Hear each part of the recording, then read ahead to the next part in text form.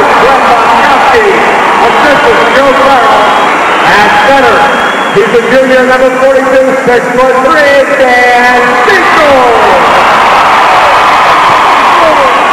But he put the whammy on the team. The Chargers meeting Saucon Valley in Class AA, and right to work, they get it to the big fella, Danny Seigle, and he scores with the early slam. But Carbondale has a lot of weapons. Chris Daly gets it over to Seigle for another slam. It's a six-point lead, and then in the second half, Daly to Seigle on the alley-oop slam. It's a 69-36 blowout win as we go and hang with them and get their fair share. Danny Seigle outside, puts it on the floor, pulls up and hits the jump. Oh, that's a nice looking shot. Danny Seigle, 16 points per ball game. 16. Emotion's going to have to carry him over the top this afternoon, too. That can do nothing but help him. Good pass. Seigle, baseline. Got it. Good look by Skarupa. He is so smooth. We are tied again at 18. Got to move the ball. Seigle all alone goes up. A foul. You have to challenge the big man. Boy, Mark Mark looked like he was going in for the dunk that time. Watch it again. You have to challenge their big man, and Seigle is doing that in this first quarter. Dan Seigle, rather. Butler thought he had it clean. Seigle will go to the line for two, trying to untie this thing. He did have a lot of the ball. No, these guys aren't twins either, Mark and Dan, and uh, easily confused. They look alike. Such a nice touch for a big guy, John. Glenn Moskowski looking on with his assistant coaches on the bench.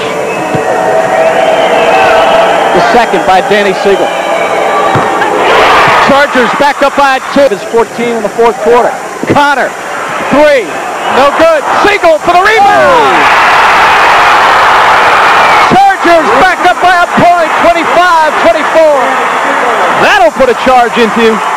what a great move by Seigle. Took the baseline away and grabbed the rebound. That's a forced shot.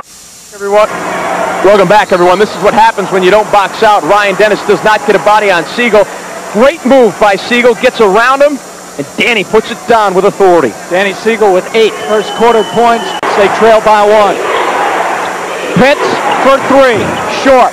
Rebound Skarupa. Daly's open. Pushes it up. He adds Daly. Hesitates. Wild shot. Seigle steals it. Oh! Bucket and foul. They came to play. Danny Seigle with 10 points in this opening half. He leads this team in rebounds. He leads this team in block shots. The only thing he doesn't lead them in is scoring, and he's only one point behind the leader. Carbondale making a statement early on here that they're not intimidated and they're going to take the ball to this team. A phenomenal effort so far. Danny Seigle misses. Up here of rolling to the baseline. Gets away from the block out and puts it down. Beautiful heads-up play. He was watching the ball. The rebound. Skarupa quickly up court. Connor inside. Nice pass by the Seagulls. No foul. We are tied at 44. Good job breaking the press. Connor to the hole. We have a foul. Again, you have to challenge the big guy. Low underneath the basket, away from the ball. Daly for three. Connor the tap. Ball is loose. Seigle the rebound. Stroll to the hole. Man! Tied again at 48. I tell you what, point guard, but Daly's the better man so far. There's a few games going on here this Oh, afternoon. Seigle to the hole, misses it. Oh! No, they waved it off again.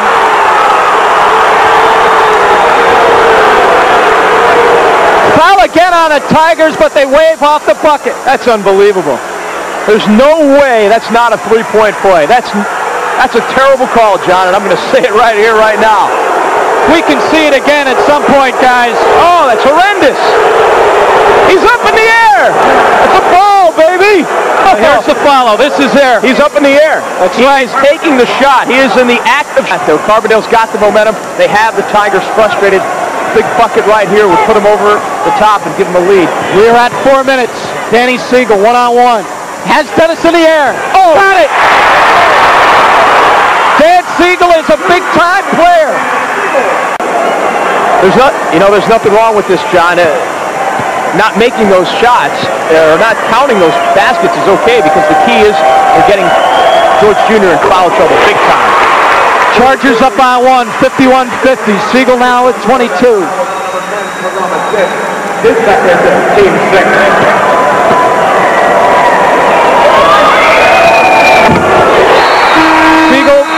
Both. We have a timeout on the floor. Carbondale is leading George Junior Republic 52-50. We'll be right back. Quarter team, they came back from a one-point deficit with four minutes to go in their last game to win by like 16. Danny Seigle with a step. Chargers back up by two. Get it to your money, man. Oh, 10 seconds. We are tied at 63. If you want drama, we have it. Daly on Reeves. Connor to the hole. Pulls up. Short. Rebound loose. Skarupa throws it up under. Oh! Oh! Beat it all. Unbelievable. Oh! Unbelievable. Oh! I have seen it all. Oh my God. You gotta be kidding me!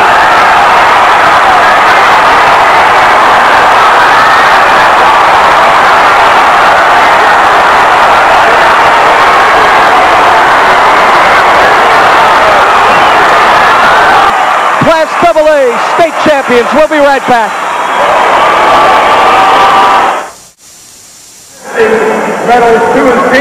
Welcome back to the Hershey Park Arena, where you have just seen one of the greatest high school basketball games, I'll tell you, of all time. Carbondale SAA state champions. They already had the t-shirts made up. Lucas. The award ceremony is going on right now on the court, and in just a few minutes we will have some interviews with some of the Chargers, their head coach, Glenn Muskowski. Let's look at the putting in that winning bucket. He ends up with six, and I'll tell you what, some irony there. Chris Daly, what a ball game he had. Danny Seigle, number 45, and his brother Mark. What a game they played. Western champion George Abraham.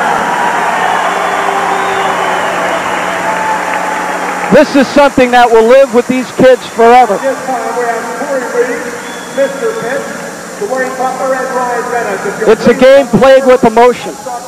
And Carbondale played with emotion here this afternoon. They were dis- there you see the medals. That'll go around these Chargers' necks. His assistants, Joe Farrell and Pat Price. 2,000 plus made the ride from Carbondale today to see this game. And they won't see anything better. Staff. Mark Seigle.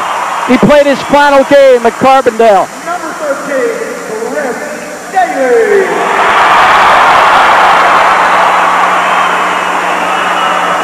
Chris Daly, number 13. Number 42, Dan Seigle. Danny Seigle, 27 points in this championship ball game. And now the awarding of the state championship trophy. With the 1993 There you see the starting five out there. Dr. Russell Werner awards it. And there it is. It's official now.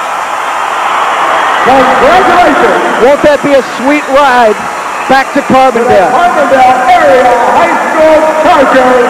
42. Danny Seigle, 27 points this afternoon. Terry Gurn, take it away. 27 points, a phenomenal effort here this afternoon. You weren't intimidated at all by these big guys, were you? Uh, no, I played with bigger guys than this during the summer with the pace setters. So I was pretty much ready for them, more or less. We were all pumped up. None of us were scared.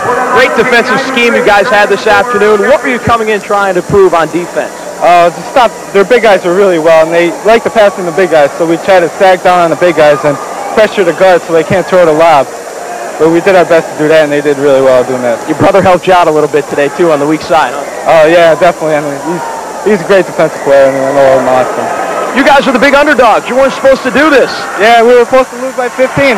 we all had that in our mind. We were going to lose by 15. Oh, don't. Did you like coming in being the underdog? Yes, once? definitely. Like less less pressure.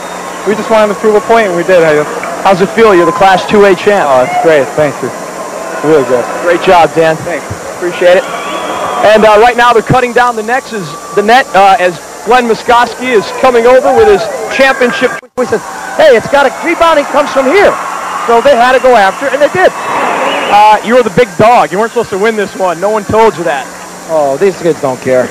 15 points. They had us pick 15 point underdogs. That's okay.